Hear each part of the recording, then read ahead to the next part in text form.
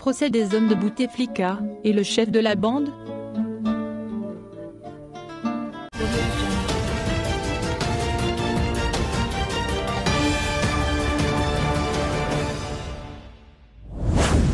Étrange procès que celui dont on vient de connaître le verdict.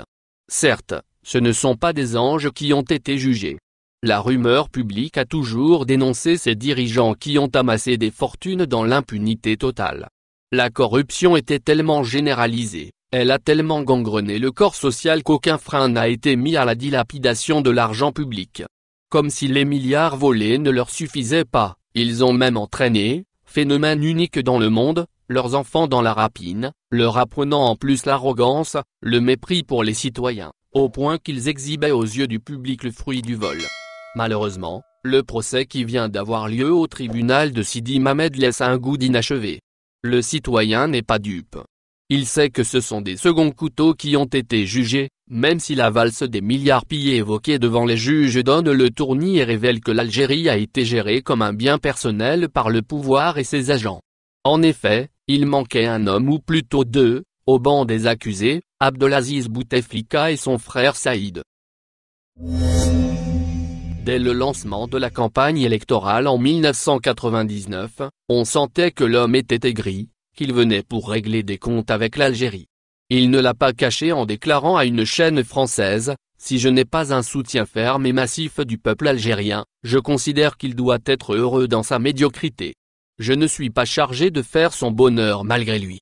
Je suis rentré chez moi.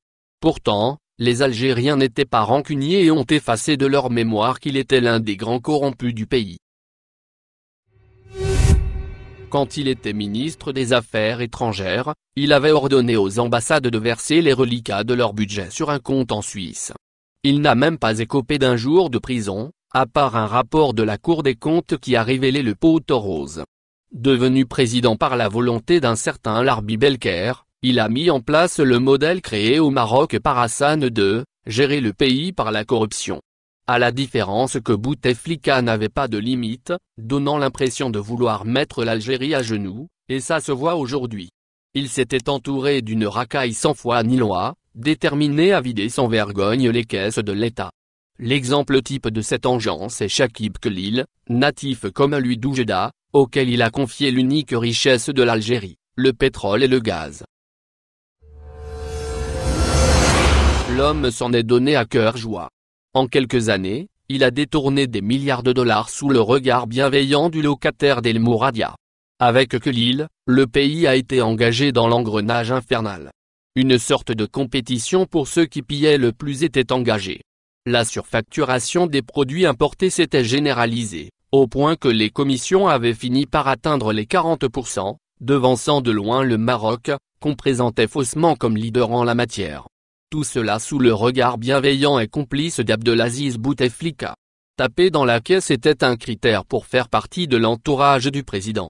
Il jouissait de voir l'Algérie sombrer dans la déliquescence, et un juge qui a osé enquêter sur un truand comme Shakib Khalil s'est retrouvé muté au sud.